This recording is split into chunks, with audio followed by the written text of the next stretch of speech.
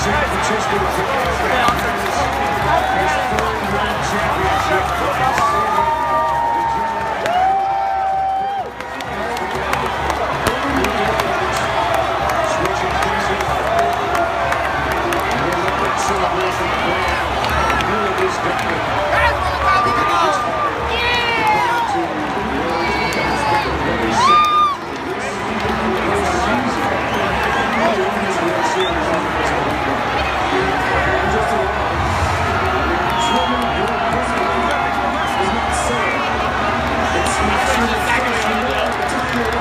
And